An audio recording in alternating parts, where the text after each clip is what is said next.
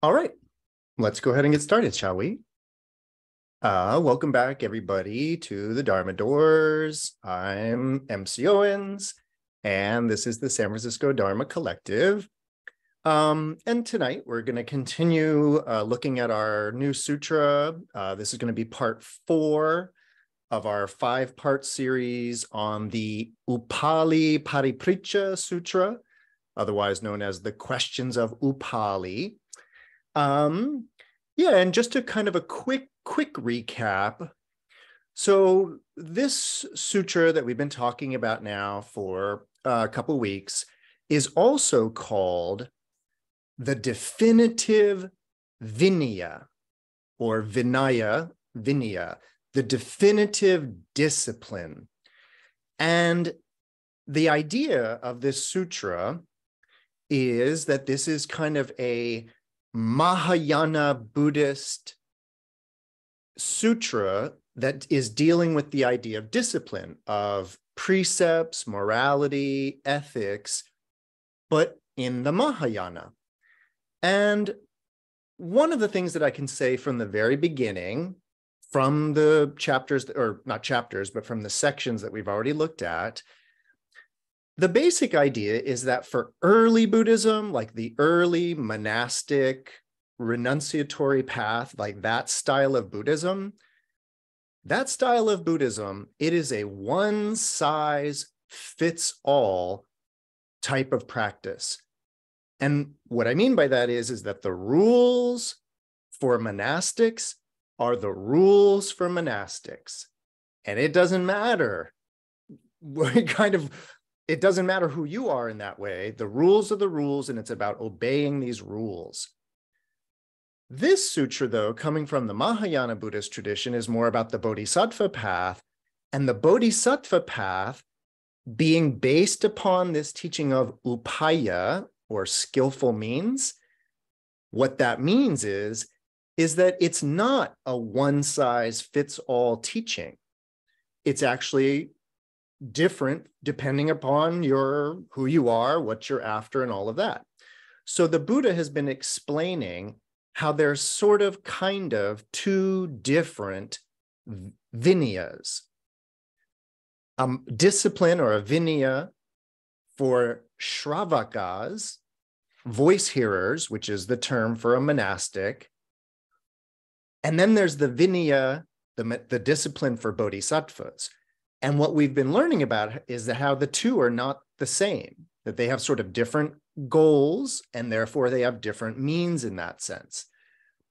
Now, the one thing before we kind of get back into the sutra, the one thing that I kind of want to make clear is that this sutra called also the questions of Upali. This, of course, comes from the fact that there's a monk named Upali, who's considered like the best monk. He's like, he knows all the rules, he follows all the rules. And so Upali stands up. This happened uh, last week. That Upali gets up and says, Hey, I have some questions for the Buddha about the Vinaya, the Vinaya, as it pertains to Shravakas and Bodhisattvas.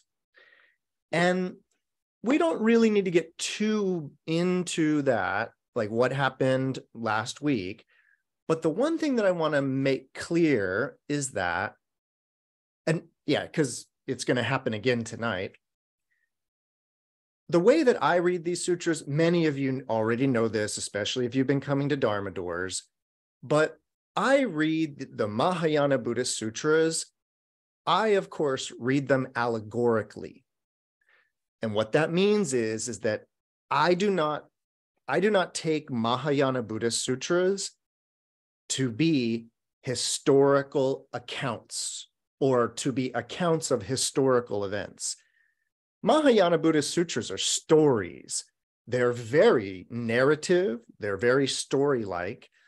And so, in that way, it's advisable, I would advise someone reading this sutra to not assume that this is a record of a historical event in which the monk Upali asked the Buddha about bodhisattva discipline. In this sutra, Upali represents early Buddhist monastic discipline. Like that's what he fully embodies. And so to read this allegorically, it's to have a representation of early Buddhism stand up and ask the Buddha, what's the Vinaya, Vinaya like for the Mahayana? So then, in answer to Upali's question, the the, the the Buddha gives a few different answers to the differences between the two types of discipline, but ultimately he kind of comes to this conclusion, if you will. And actually, it's not a conclusion, but it's I want to remind everybody of this. It's about how in the Shravaka Vinaya, in the in the monastic discipline, the rules are the rules, and if you break them, you break them. And there's consequences, karmically speaking, for breaking the rules, period. But what we've learned from this sutra is that if you're on the bodhisattva path, it's a much greater transgression of the discipline if your transgression is out, coming out of hatred. Whereas if your transgression is coming out of desire, it's not as much of an offense. And ultimately, what the Buddha said, which is really interesting, is that it's this idea that for someone, a bodhisattva, to transgress or commit an offense out of desire, the Buddha says, well, you know, desires everywhere. Desires what is what it keeps samsara going. So desire sort of par for the course of samsara. And so if you break a transgression out of desire, it's understandable. It's still a transgression, but it's understandable. Whereas if a bodhisattva breaks a transgression out of anger, what the Buddha said is that this is a much greater offense for a bodhisattva because when we commit transgressions out of anger, we push all sentient beings away. And that was the, the Buddha's idea, as he was saying that so when we are acting out of anger, we are pushing everybody away. And that's entirely against the Bodhisattva vow, the vow to compassionately bring all sentient beings to awakening. That's like what we're in the business of as bodhisattvas. If we're a shravaka, if we're a monk or a nun, then we're just interested in our own morality and our own moral discipline. And so the rules are the rules in that sense. So the basic idea of the sutra so far is that for the bodhisattva, the discipline, the Vinaya, is a little tricky. And the way the Buddha put it last week is that the Shravaka discipline is entirely prohibitive, whereas the Bodhisattva dis- discipline is partially prohibitive, partially permissible. So it has this kind of uh, a little more room, a little more flexibility to it in that way. Now, there was one other idea that has come up so far that I need to remind you of so we can dive back into where we were. This sutra, in talking about the Bodhisattva path, earlier on, kind of actually, this might have even been during the first session, the sutra makes a distinction between a super beginner bodhisattva a bodhisattva that's sort of a little more advanced, and then a bodhisattva who has attained the patient tolerance for the birthlessness of all phenomena, this sort of like really high level bodhisattva. So the sutra, even within the bodhisattva path, started making distinctions between what beginners should be doing versus what more advanced practitioners should be doing versus the ultra advanced practitioner. And this distinction is about to come back into play because after, so I'm diving back into the sutra. If you have the big yellow book, I'm on page 270. So this is after the Buddha, and actually Upali is still right here, but the Buddha has finished answering Upali's question. And then from among the assembly, Manjushri, Prince of the Dharma, asked the Buddha, and actually, I can't even give you the quote yet because we gotta we gotta talk about who Manjushri is. So Manjushri is, of course, an advanced bodhisattva. And this is why I wanted to introduce or I wanted to remind everybody about my kind of allegorical way of reading the sutra. Because if you understand that, and you understand that Upali represents the early Buddhist monastic discipline, then you understand that Manjushri represents prajna, that transcendent wisdom, that deep, deep wisdom of emptiness. That's Manjushri. So when Manjushri steps up from the assembly to ask the Buddha a question, there's a way in which we should all be like, oh, whoa, like what's Manjushri about to say? So his his his presence, his presence heralds great dharma to come, right? So Manjushri steps up after all of this discussion of the real Vinaya, the real discipline. Manjushri steps up and says, World honored one. All dharmas are ultimately Vinaya. Why are regulations even necessary? And I'm going to give you the Buddha's answer, and then we're going to talk about it. The Buddha answered Manjushri if ordinary people knew that all dharmas are ultimately Vinaya, the Buddha would not teach them regulations. But because they don't know that, the Buddha gradually teaches them the rules to enlighten them. So this is pro- this is profound already. But again, I wanted to remind you that we were sort of we dealt with beginner bodhisattva stuff. We dealt with kind of eh, more mi- meteor, middle ground bodhisattva stuff, and now we're getting to the advanced stuff. So, what's Manjushri's question? Well, this is where we need to do a little bit of language work so Manjushri says this thing, and he says, since all dharmas, since sarva dharma are atyantika vinaya, since all dharmas are ultimately in the end vinaya, why why bother teaching? Why are there regulations necessary? So up until this point, I've been just kind of going with a certain flow. And what that is, is that the word vinaya, vinaya gets translated a lot of different ways. It gets translated as discipline, it gets translated as rules, morality, regulations. But we actually, and the, the vinaya is also a body of literature. So it's a it's a body of records of all of the monastic teachings. That's called the Vinaya. So there's actually kind of a, a complex of ideas around this term Vinaya. It can refer to the actual literature, it can refer to the rules that are in the literature, or it can refer to the obeying of the rules found in the literature.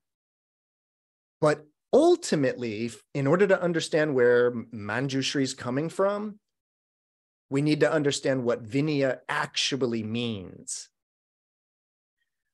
So Vinaya means restraint.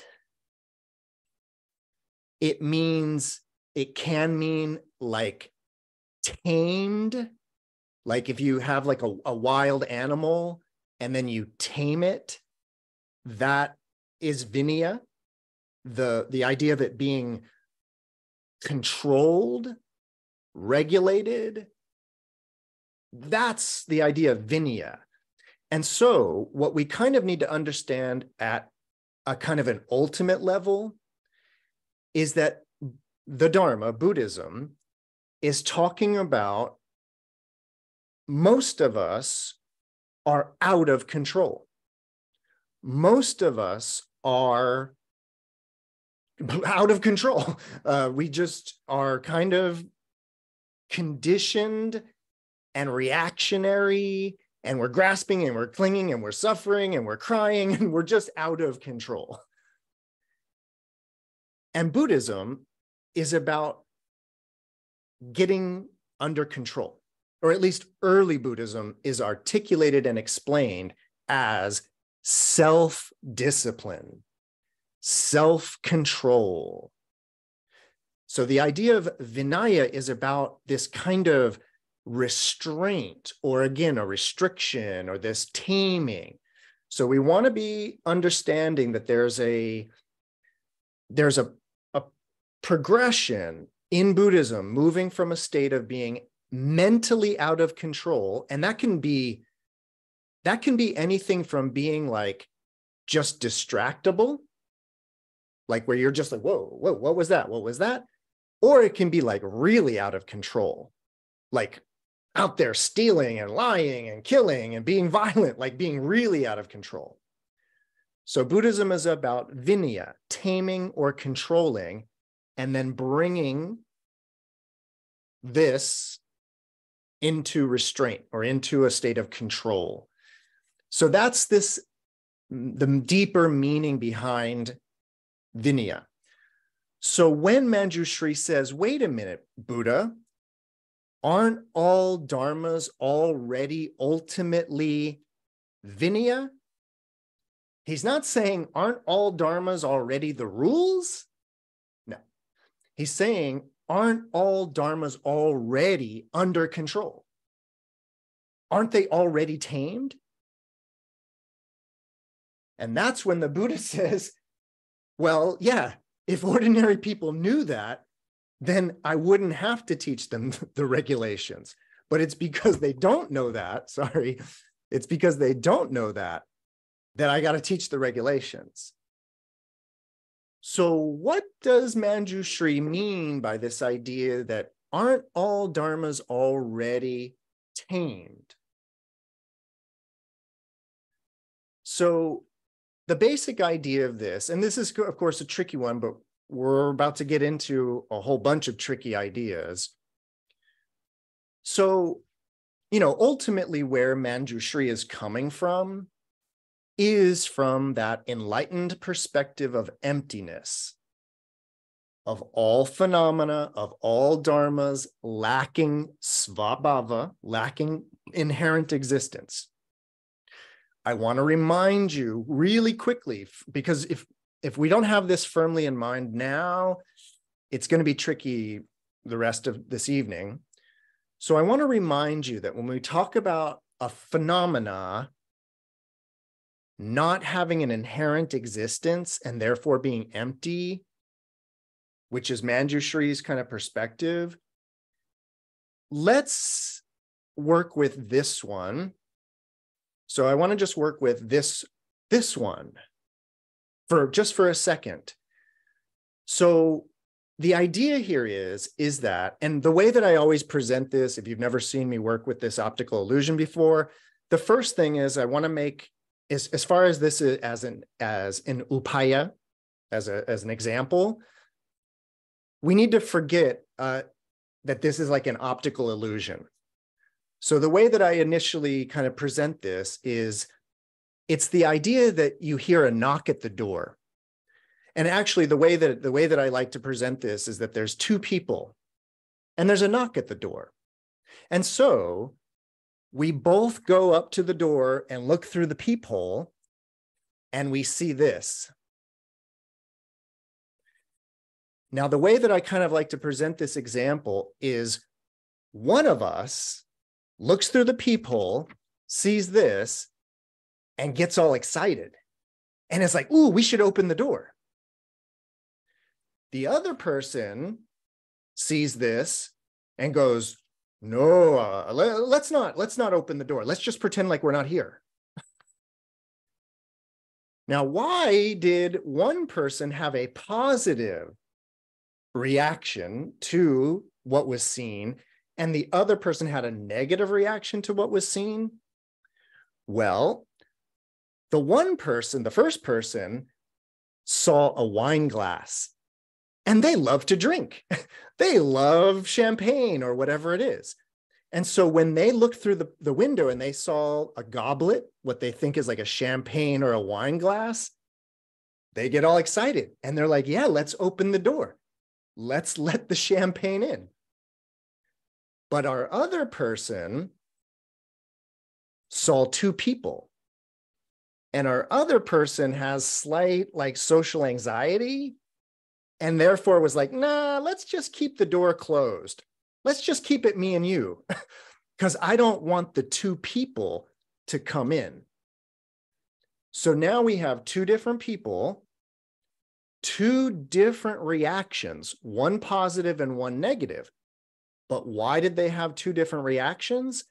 Because they perceived two different things. So, as far as this example goes, again, I want to make it clear that if this were a real example, like a real world situation, the one person would be like, wow, why, why don't you want to why don't you want to open the door? And this person's like well I, i'm a little like socially awkward. And they're like yeah and drinking helps with that. Like you should you we should open the door and this is when they start to confer.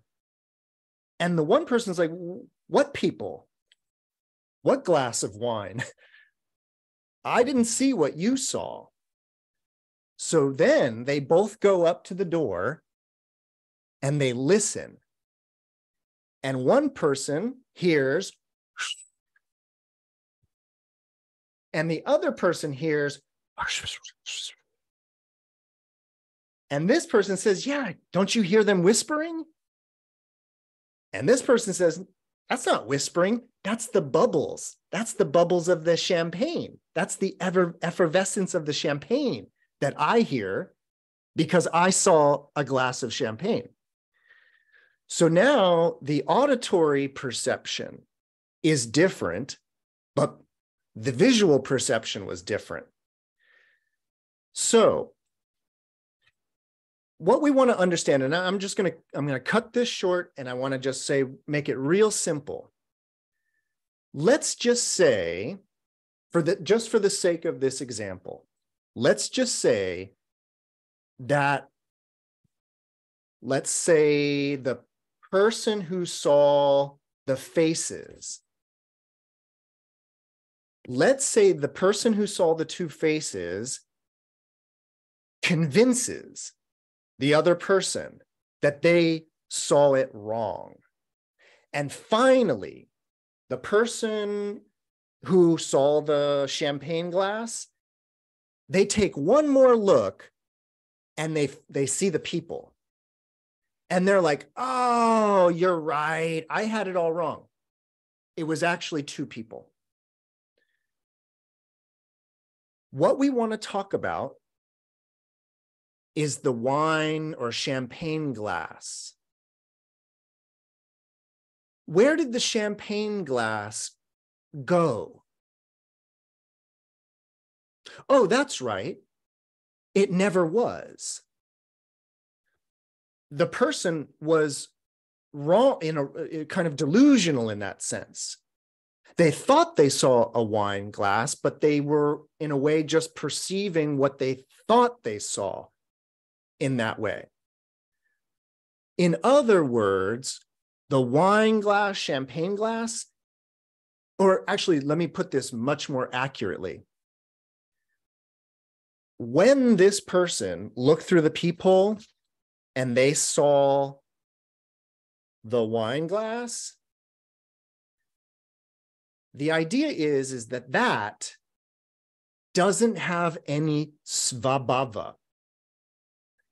It doesn't have any inherent existence as a wine glass. In fact, it has so little inherent existence as a wine glass that as soon as the person realized it, that it was two people, there just wasn't a wine glass anymore. It was actually that empty that it wasn't. But what about when the person thought they were seeing a wine glass? What about then? Did it exist then? And when I say exist, I do not mean exist as an idea in that person's mind. I mean, like literally, tangibly, physically existent for all eyes to see. Is there really a wine glass out there for all eyes to see? No.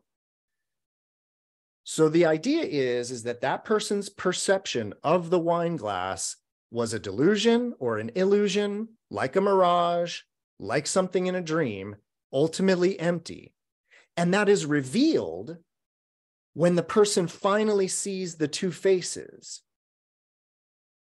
But what we, of course, need to understand is that everything I just said about the wine glass goes for the perception of two people as well.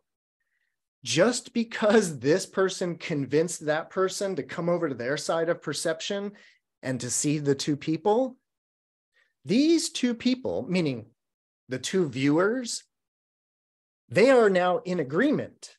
Yes, I too see two people like you do. And now these two people have a false sense of security in their belief in those faces because they have confirmation from another delusional imaginary or imaginating person in that way. So emptiness or things not having svabhava is about both the glass and the two faces. No matter what it is, it's empty without svabhava. Everybody doing okay with that example? Now, just in case anybody was confused still, though, let's forget about this optical illusion and let me let me remind you about this one from this was either last week or the week before. Oh, there's a knock at the door. Let's go see what it is.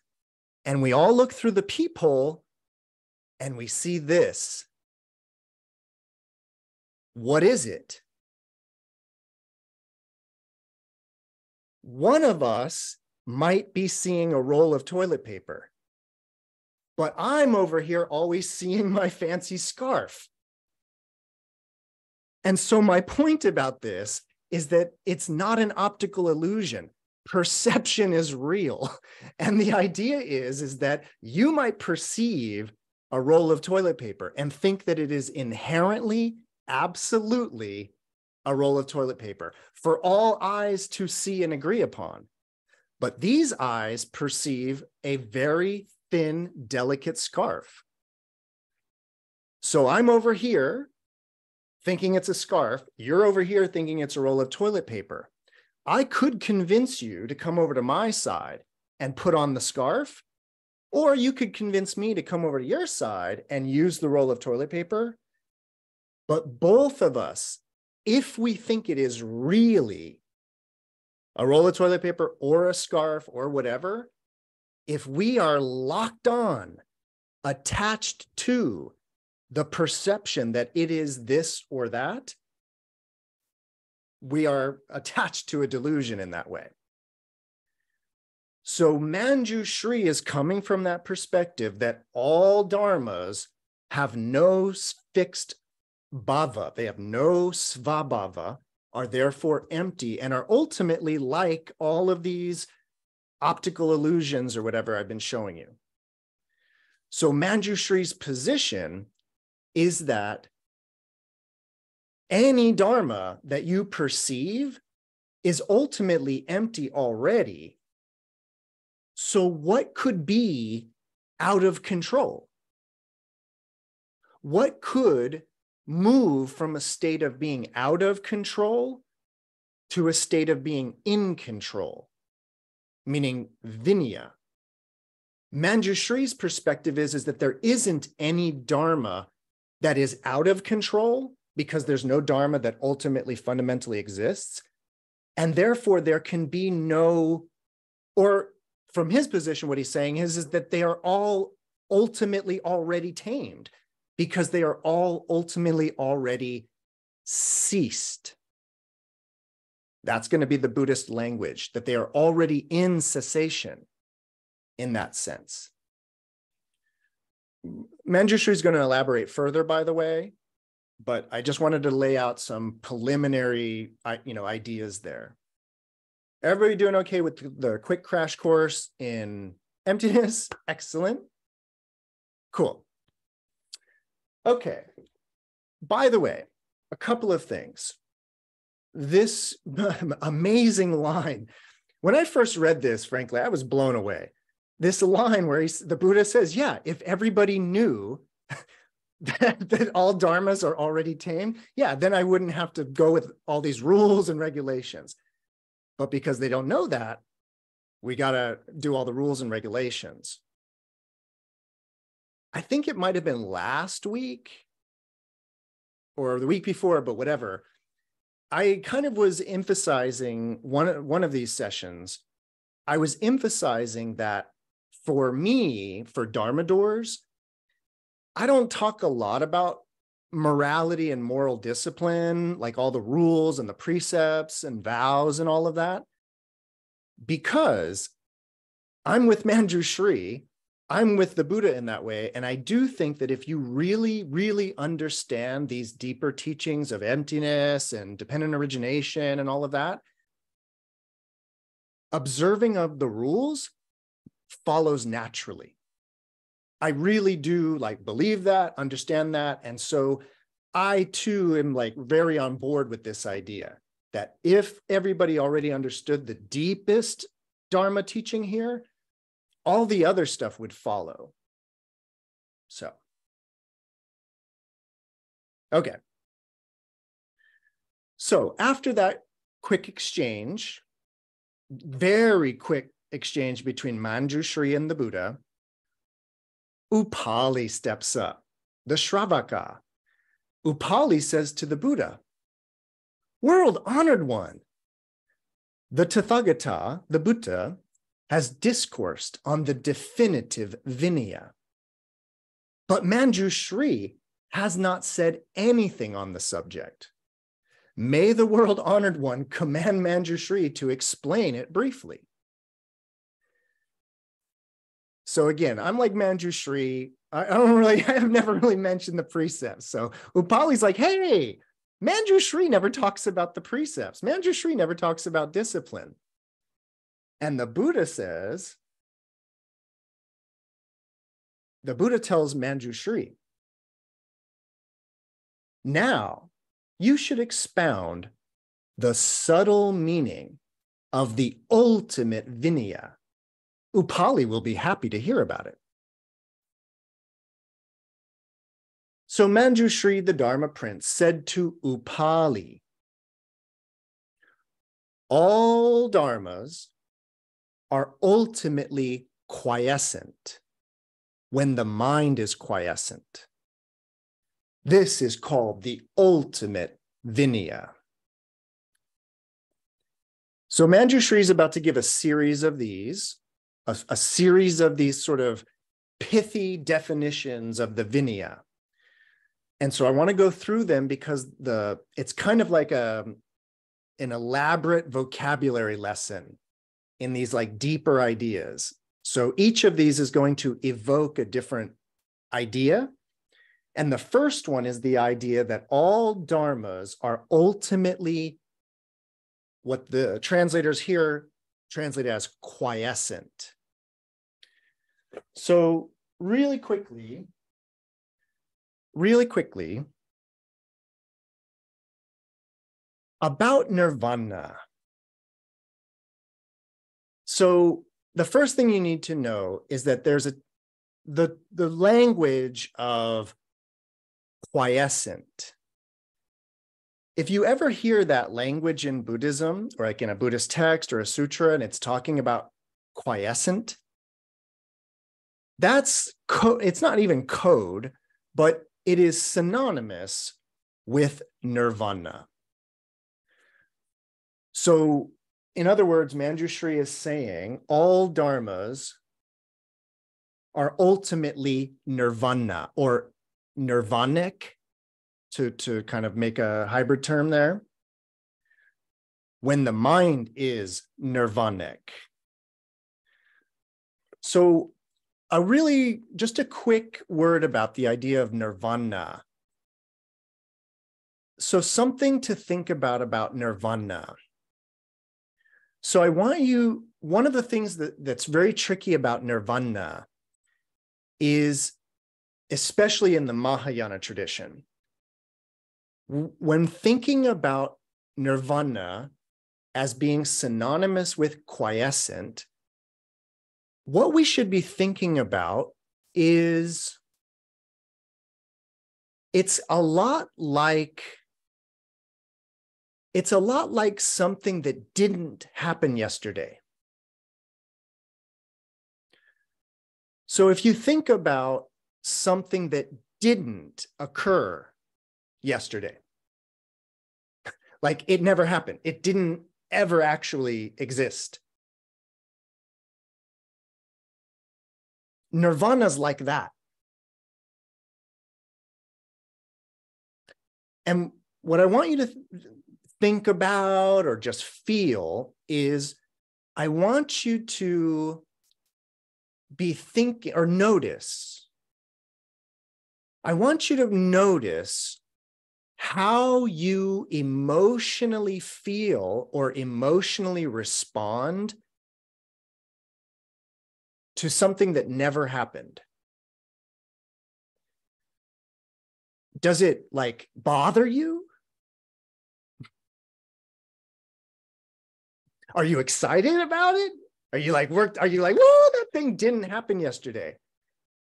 Or when you think about something that just never occurred, does it have this utterly quiescent feel to it? this utter utter stillness utter quiet there's no motion in an event that didn't occur or an object that never manifested it is it is so still and quiet and peaceful in that sense if you put your mind on that which has never come into existence again nirvana is a lot like that. A lot like that, meaning that which has never come into existence. If now that I've said that, what I could possibly then kind of get you to see is how it is that the realization of no self and in fact, realizing that that self that I thought I was has never actually come into existence. In other words, that is in nirvana already. That's how a deep, penetrating understanding of no self propels you right into a state of nirvana.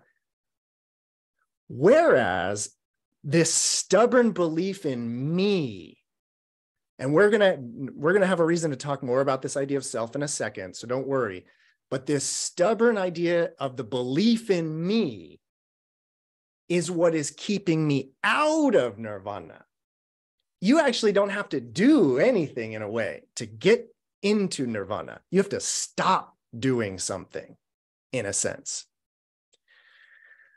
so now that we know that quiescent is sort of a synonymous term for nirvana or nirvanic. Manjushri is saying all dharmas are ultimately nirvanic when the mind is nirvanic. And this is called the ultimate vinaya. So now all we have to do then is understand how the mind is quiescent in that way. And that, of course, is, is a tricky one.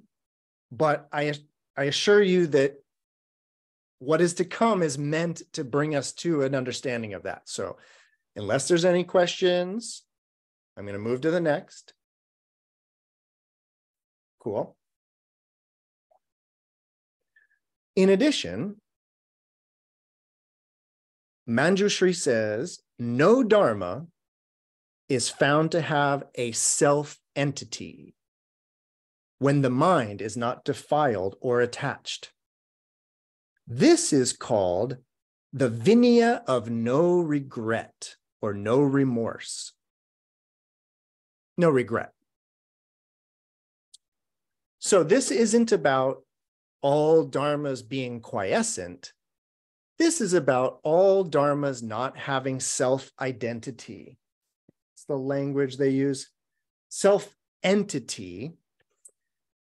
In other words, Atman is the kind of normal term for this idea. It could also be Pudgala, Pudgala, but there's another meaning or idea about the idea of all dharmas not having a self entity. Now, we are not talking about what I was just talking about a second ago, which is the teaching of anatman, of no self. That's not what's being referenced here. What's being referenced here is actually something a, a, even deeper than that. And what it is, is it's about it's about this idea of an individual thing. You know, just one thing. I always like to show this thing so the idea here is, is that we have a word, you probably have a word for this, and you might call it a clock. But as I always point out, this is actually, that was the battery. This is actually a bunch of things well, knobs, buttons, there's electronics, it's a bunch of stuff. And yet, with the stroke of a word, the mind can just wrap all this into just one singular entity. Is this one singular entity? No that would be the self entity of this, like that it is just one thing called a clock. But wait, there's more. So, somewhere, all right, here it is. So, a moment ago, this used to be part of this. like before I opened it up and spilled its guts everywhere, right? This used to be one with the clock. It, right? It was part of that singular entity, the clock. And what I want to then demonstrate is that I just mentioned that the singular entity clock is actually made up of a bunch of smaller parts. One of those parts would be this battery. But this teaching of the no entity, no self entity of any Dharma it goes for this one too. Is this just one thing? There's the casing, there's the battery acid, there's the copper part, the black part, there's the writing. So is this just one thing? No. And if I were to open this up and spill the battery acid out, would the battery acid be one thing?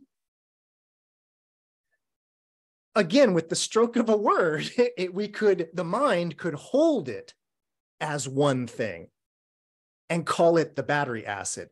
But then of course a chemist would come along and be like that's not one thing. That's a bunch of molecules or what have you. But then of course is a molecule one thing? Is an atom one thing? Is an electron one thing?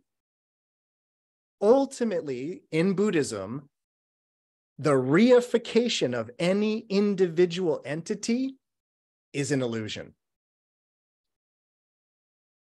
Guess what? I'll bring it back to the real basic Dharma teachings.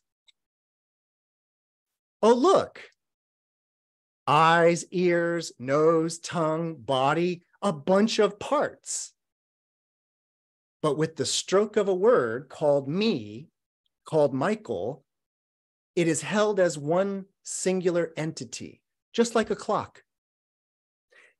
And the teaching, the deep teaching about all of this, about the emptiness of all phenomena, which is what we're talking about, the real teaching about this is to not then throw all these things away as being, quote, non existent.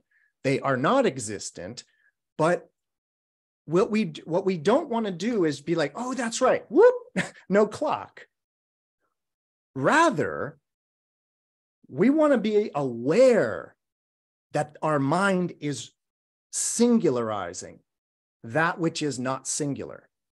The mind is singularizing that which is not singular. And then as i look out at all these faces i could singularize each of you because you have your name. But the wisdom here is about understanding what the mind is doing in there. And then not clinging in that way. But again, we don't want to just throw everything away and say, oh, it's all empty, it doesn't exist.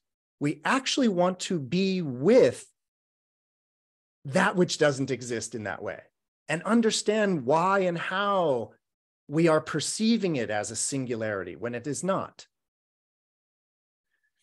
So, that being said, perhaps we now have a deeper understanding of Manjushri when he says, no Dharma is found to have a self entity when the mind is not defiled or attached. That's called the Vinaya of no regret. And by the way, and just a little language thing, no regret in Sanskrit is Ashoka.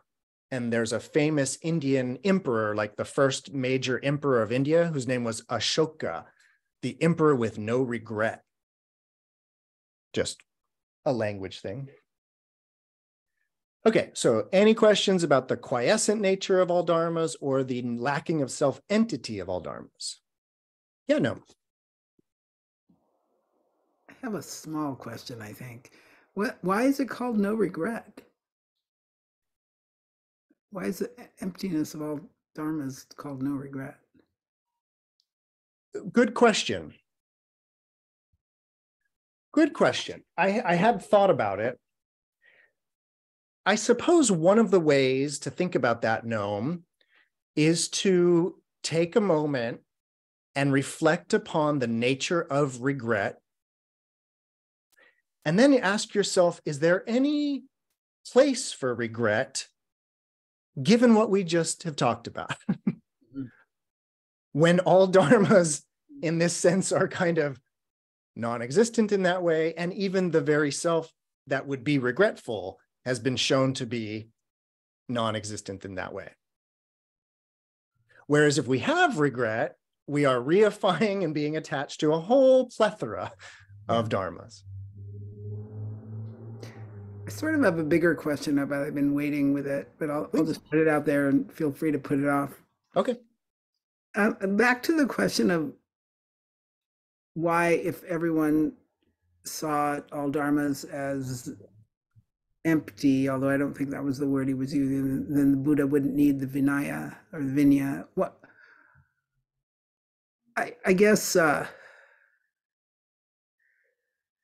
maybe it's not a question, maybe it's a comment. Like it it it seems to me that the the there's a there's a like a circular thing going on there like observing restraint develops our ability to understand to develop wisdom you know if we have sufficient wisdom maybe we don't need restraint but i don't have that wisdom yet you mm-hmm, know mm-hmm. and so it yeah, I don't know. I don't know. It's just something that I keep thinking about from the very beginning of this of this today's Mm-hmm. episode that uh there's this uh kind of interesting relationship between the restraint that the Buddha asks us all to have, among other things, in order that we can develop the wisdom Mm-hmm. versus having the wisdom and then that uh, you know gives we then we can conclude on our own or then there's no need to have restraint because it doesn't arise something like that Yeah. So really quickly, Noam, I mean, you, it's a really important question you're asking. Um, let me put it to you this way. Let's go back to really quickly. Let's go back to this example. I just want to walk us through something really quickly. So, because what it what it's about is, I'm I, so my dream, and I, I will never be able to do this, so I always just have to describe it in your mind. But I would love if I could create an optical illusion like this, but where, and this is where I just have to make up a story, but I would love to make an optical illusion where these two faces reminded you of your parents. And the glass, my the the the um, the story that I have in my mind is that in your childhood home, there was like grandma's uh you know chalice and this particular shape reminded you of grandma's chalice that was always up on the shelf that as a kid you kind of always sort of it was magical to you. So whether these look like your parents or this looks like that sacred grandma's chalice the reason why I would love to have an optical illusion where not only did it look like faces, but it looked like your parents is so that we could actually walk through the realm of desire, which would be the emotional reaction you have to your parents, which is different than any reaction I would have because I don't know your parents. So either I wouldn't see those people, or even if I saw what you saw, I wouldn't have the same emotional reaction that you were having. Same goes with if you see the sacred chalice, there would be a, that, that childlike wonder at it. And that's all realm of desire. Of course, as we've spoken about in the past, right underneath the realm of desire is just the realm of form, which is that these look like they're in the form of people, or this looks like it's in the form of a goblet, but no particular goblet. And then, of course, there's the realm of space, which is that in order to see any of that, you need a little bit of space. Either this is space and it allows you to see this, or this is space and it allows you to see the two faces. So there's all three realms. Again, the realm of desire, if this reminds you of your parents and you get triggered, the realm of form, if you're just seeing what looks like faces, and then the realm of space when you understand that it's neither form nor not form in that way.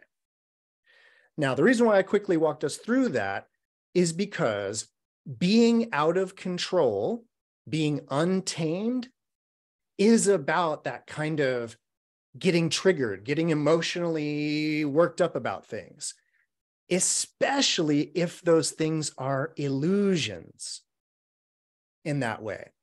So, what the Buddha is saying is, is that if everybody actually could see this emptiness stuff, you wouldn't be attached to things.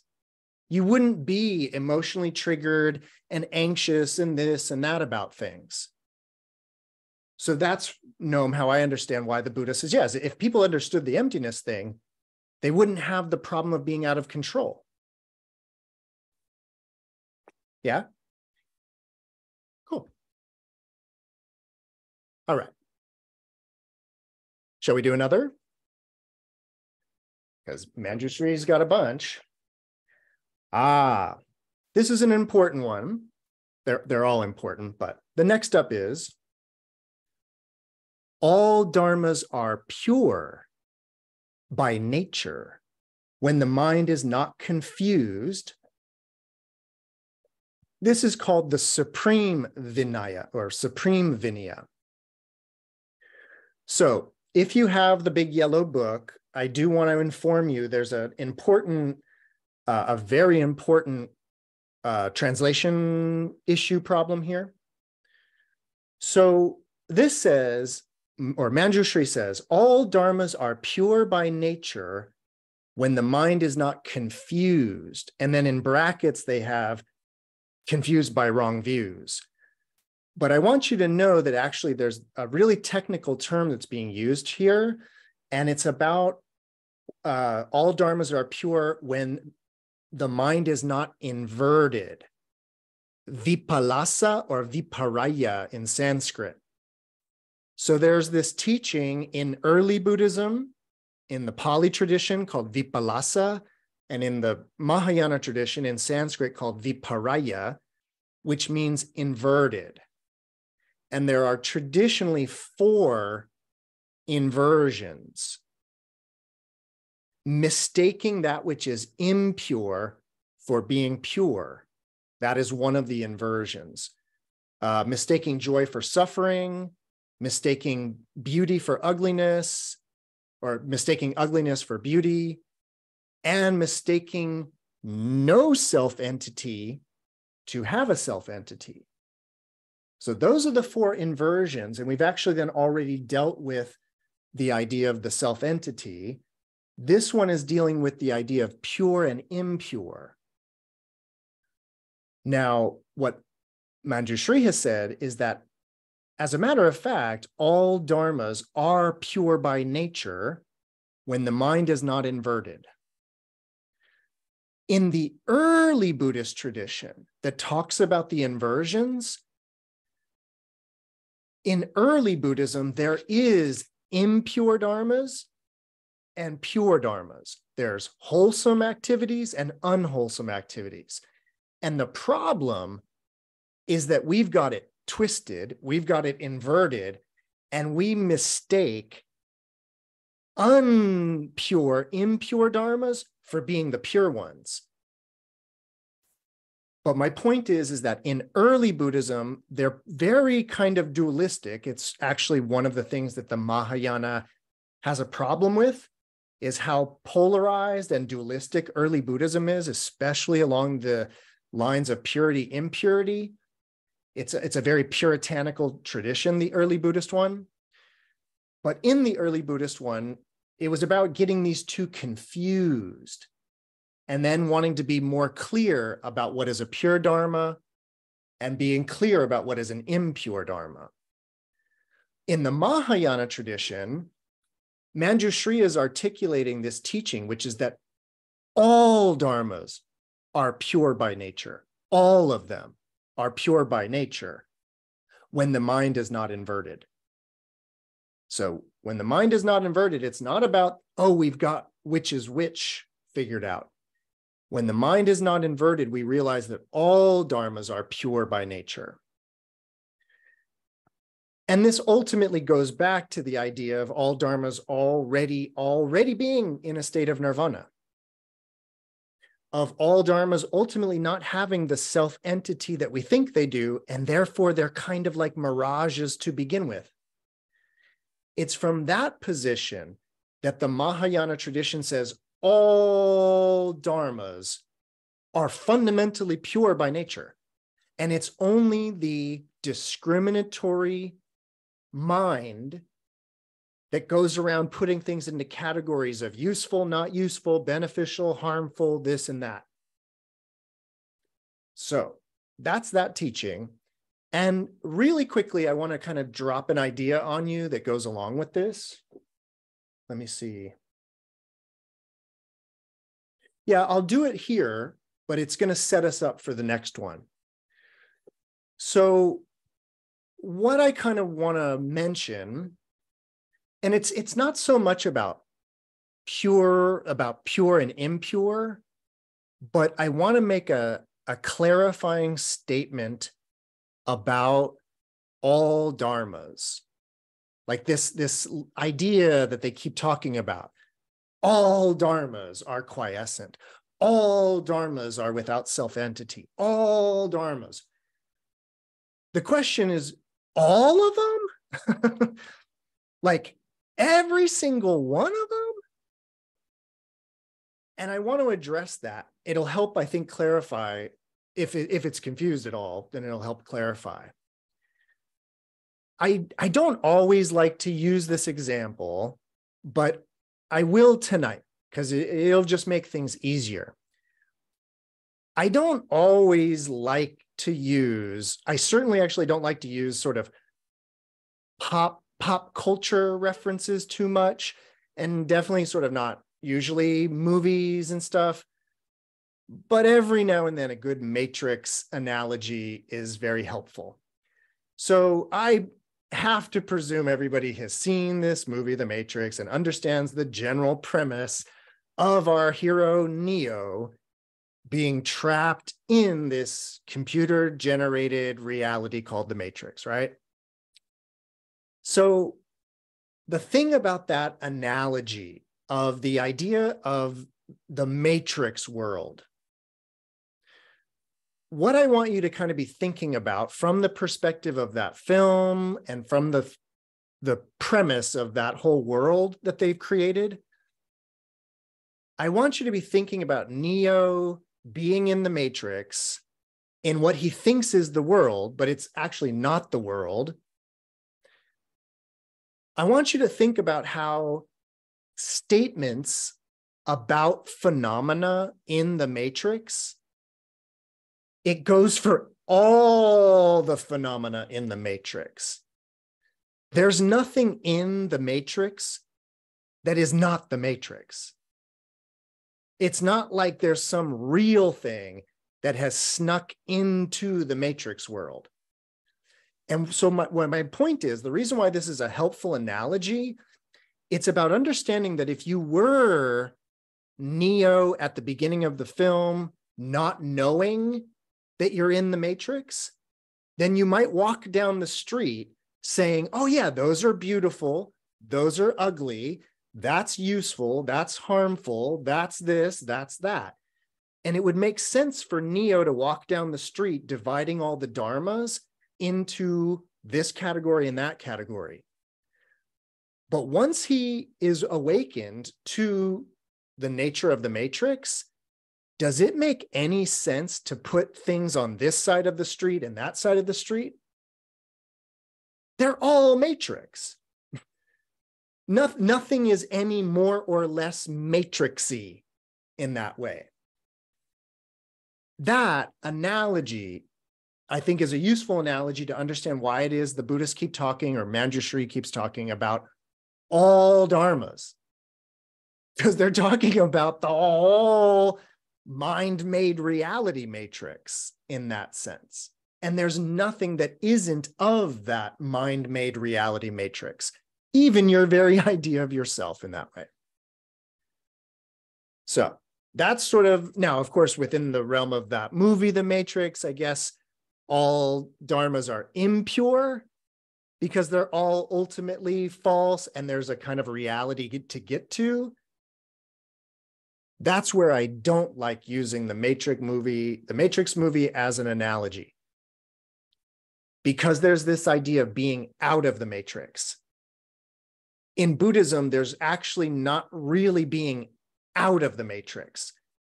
You're either in it and understand it, or you're in it and fooled by it and suffering. So to get out of it is to sort of overstand it if you will, not understand it, overstand it in that sense. So, an important distinction to make between that kind of Plato's cave analogy, where you could actually get out of the cave, versus a deeper phenomenological description of the way perception is working. So, questions, comments, answers, ideas. Excellent. So with that in mind, meaning my matrix analogy real quick, Manjushri also tells us that all dharmas are suchness, are suchness itself. When the mind is devoid of all views. This is called the pure Vinaya. All right, so you might have noticed each of these Vinayas is getting a different adjective, like supreme Vinaya, ultimate Vinaya, pure Vinaya. So there's all of that. And this one is saying that because all dharmas are suchness itself, are tathata itself, when the mind is devoid of all views, and then that's called the pure Vinaya. So this is a this is a tricky one because the idea of suchness is tricky, and the idea of drishti or views is tricky. Put the two together and it gets really tricky. So let's begin with the idea of views first, actually. So we talk a lot about views um, in Dharma doors. It's like a kind of a, a key idea. The word for a view is, of course, a disti, uh, drishti, a very hard word to pronounce. But it's this idea of like, you know, what we in English call a worldview, a political view, a religious view. We use this language in English. We talk about having a view, a point of view. And when we use that word in English, a point of view, when we use the word view that way, we don't mean with the eyes. We mean holding an opinion, having an opinion in that way. Well, interestingly, in Sanskrit, the word drishti, it literally means a gaze or a view. But just like in English, it has this connotation of an, an, of an opinion or a position, a worldview. And the tricky thing about Buddhism is its relationship to views. Because the idea is, is that, you know, a view is, and, and a drishti is deep. It's not just a political view or even a religious view. A drishti is a deep seated understanding of what's going on here. And what I mean is, is that you may think that the world was created by God and God's watching over us. And I got to be good because God's watching. And if I am good, I get to go up to heaven and be with God for the rest of my life. That's a view. That's a view about life and like what's going on here. But if you were to say, eh, it's just a bunch, it's a big chemical, biochemical, electrical reaction going on, very scientifically minded. It's just a bunch of atoms, particles, and molecules bouncing around that over time have gotten more and more complex and gotten together in more and more complex configurations until the point that the dirt was aware of itself in such complex configurations but those complex configurations that are aware of themselves just eventually fall apart and become food for other complex organisms. That's a view. so my point is is that it doesn't matter if you have a quote religious view, a scientific view, or what if you said it's unknowable? The meaning of life is unknowable. That's another view. So I, I wanted to, you know, spell it out this way so that you could then begin to ask yourself, okay, then what isn't a view? And that's exactly the point is that all of us basically have a view. Even again, even if that view is, I don't know, that, that's a view as well. Buddhism is so tricky because ultimately they are suggesting that you do not attach to and become a, uh, um, you don't cling to and become attached to any view even buddhism. Even this idea that you shouldn't get attached to a view you should be suspicious of that as well. That's to practice the Dharma, as I understand it. And what that means is, is that you don't get to cling to this belief in God. You could entertain that idea, but as soon as you get attached to it, as in, I know what is going on, uh, that's immediately you reveal you don't know what's going on in that attachment. And so, again, you know, there's a, a really famous early Buddhist sutra. Uh, it's actually number one in the Digha Nikaya, the, the Brahmajala Sutra, Brahma's net, also sometimes translated as what Buddhism is not. That is a great sutra because in that sutra, the Buddha lists out 62 different worldviews along the lines of what I just suggested. Uh, the worldview that it's all about reincarnation, the worldview that you go to heaven or hell, the worldview that you just become food for plants. The Buddha articulates all of these competing 62 views. And then when asked, like, well, what's your view? No, no. That's why what I'm, this is the, the Buddha says, and that's why what I'm teaching is not what all those other people are teaching, whether they are religious people, scientific people, philosoph- uh, you know, philosophers, nihilists. I'm teaching something totally different, he says.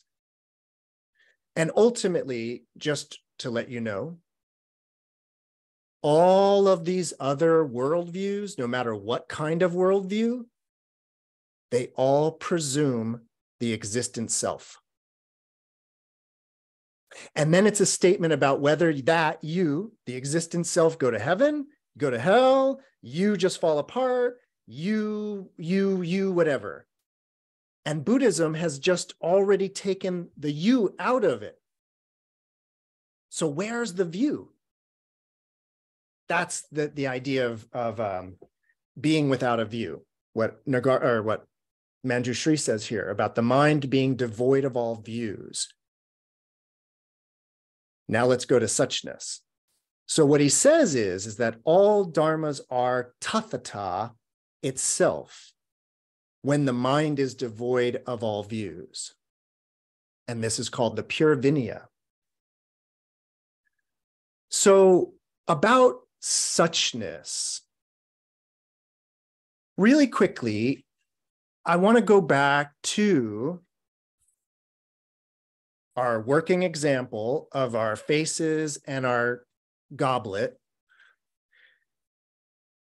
The idea of suchness, it has a lot to do with this. It has, there's a couple of component parts to the idea of suchness. One idea, it has to do with, remember when I first introduced the two faces and the goblet, and I set it up as there was one person who saw the goblet and another person that saw the two faces. So, in that scenario, so this is before the one person convinced the other person to come over to their side. This is when we are still in like a debate. Is it a glass or is it two people? Which is it?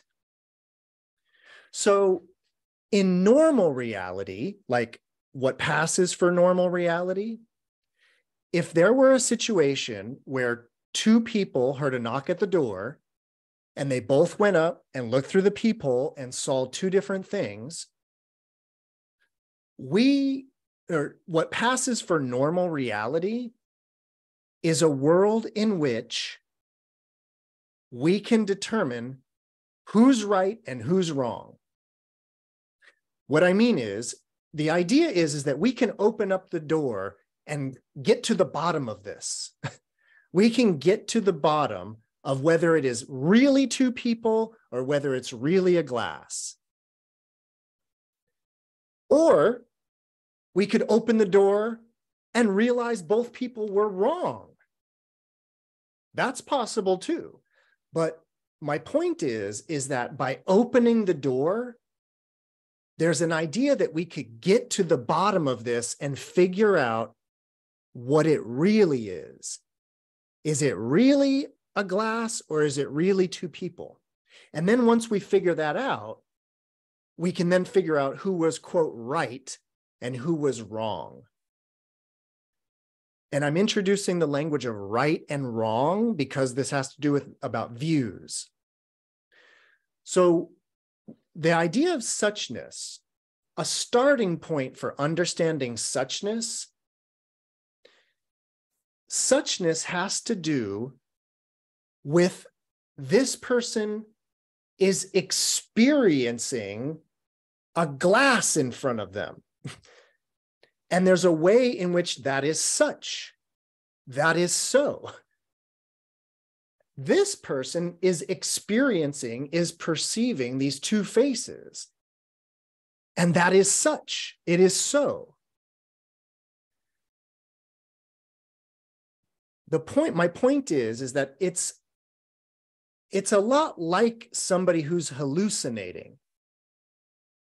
Everybody else around them is like uh, we we are not seeing what you're you're describing like an elephant in the room or something and we don't see this elephant. Therefore you're wrong and we are right. From the position of suchness it's not right or wrong. There is no such thing as right or wrong. There is what is being experienced. What is such? What is so so the first kind of quality about suchness is it's about what is such and what is so without any appeal to quote unquote what is really going on. What is really going on is you think you're seeing a glass. that is actually what's going on. That is so, that is such. All of this debate about who's right and who's wrong, that's not suchness because suchness respects people's experiences for being so, for being such. And there's no position to say you're wrong. How could I be wrong about my like how could my like if i'm if i take a bunch of acid and i'm like hallucinating all of these like multicolored balloons everywhere how could that be wrong and i'm not i'm not advocating taking hallucinogens that say but what my point is is that how could that hallucinatory hallucinatory experience be right or wrong? It doesn't even make any sense. It's just it is so. It is such. So that is sort of one nature of suchness. Really quickly there's an another really important aspect to suchness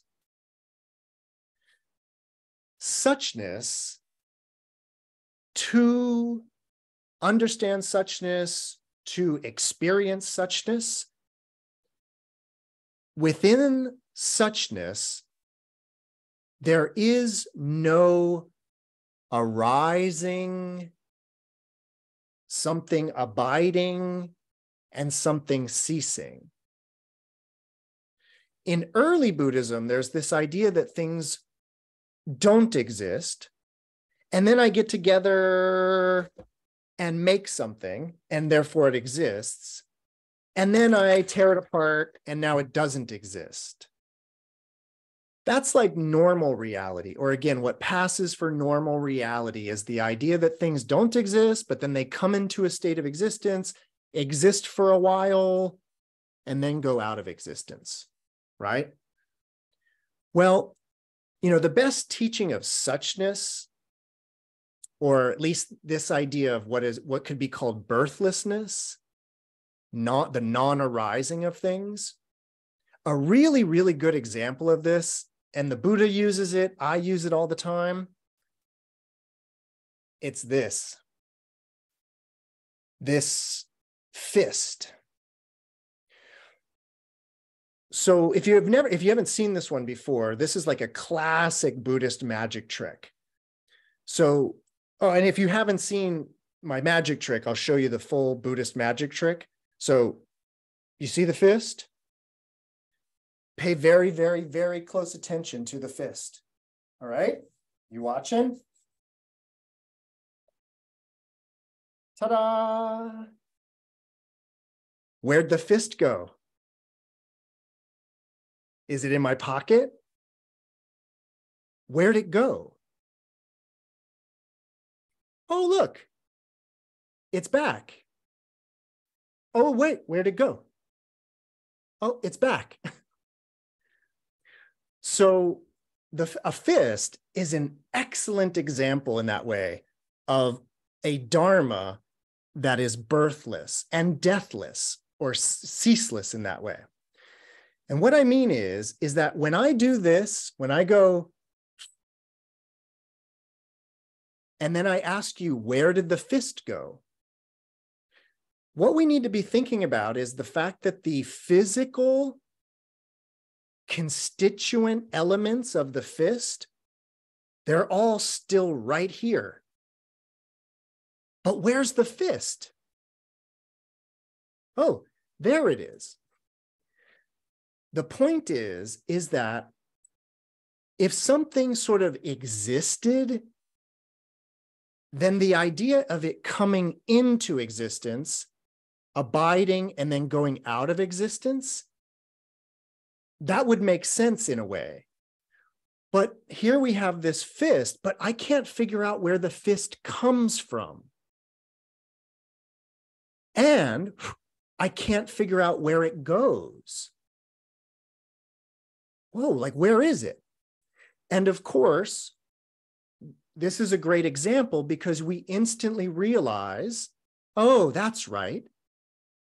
A fist isn't a thing. A fist is an idea, it's a concept. And when the conditions are appropriate, a conditioned mind out there can go, oh, that's a fist. But is it inherently, fundamentally a fist? The point is, is that things that are like made and created, they do not flash in and out of existence. But you'll notice that this fist is flashing in and out of existence. And what that does is that it reveals that it is not an inherently existent Dharma. So rather than the fist arising and abiding and then ceasing, what we can say is, it is such, it is so. It is so, it is such that you are seeing a fist in that way. So another element about suchness, like if, if you want to, like, if you're asking the question, like, am I in suchness? am, am I experiencing suchness now? Well, if you're thinking in terms of past, present, and future, and the idea of things coming in and out of existence like that, you're not in suchness. But if there is this sense of immediacy, of like kind of total presence in a way, with things or all things are seen as like a fist, a provisional designation, but not an inherently existent thing that has come into existence or is in threat of going out of existence, that's suchness. So it's kind of, again, a tricky topic, the idea of tathata, of suchness. But those are a couple of the qualities of it in that way. Questions, comments, answers, or ideas about suchness and or views and their relationship. I tried to do that in a way that would make a relationship between having a view and things that views are predicated upon and how this teaching of either emptiness or suchness sort of it does away with things that could then build up an, a view in that sense questions comments answers ideas yeah maria So there's something about this um, hallucination analogy that kind of bugs me. So, like, um, there's a hallucination, say, of an orange, and then an orange that we can eat. Is the orange that we can eat just a more convincing hallucination? Like, is its solidity just another lakshana or another characteristic um, that's just sort of more a little longer lasting and that is again more convincing in the way that we interact with it of its realness Mhm. um maybe you can Yeah. So it's it's really about. so if I go and now this is totally it's almost end it's almost ceased. It's almost non-existent. But my point is so rather than an orange, we'll talk about this. You could use this as toilet paper. Is this inherently toilet paper? If you are seeing a roll, like, oh, Michael's got a roll of toilet paper in his hand, you're hallucinating.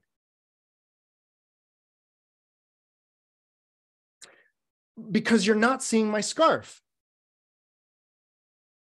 So, again, from this perspective, we are all having our own unique little hallucination based upon our oatmeal and coffee in the morning rather than having LSD and ecstasy or whatever it is. But my point is, is that this teaching, it's why I use the roll of toilet paper, because we all see the roll of toilet paper, but we could get lulled into this false sense that it is actually a roll of toilet paper for everybody. And that's the same as a hallucination in, in that way, in that they don't have any svabhava, either of them. Yeah.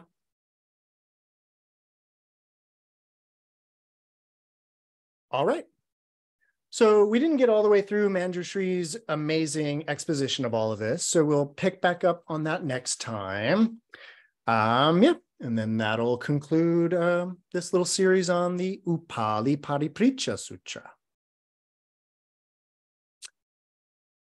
All right.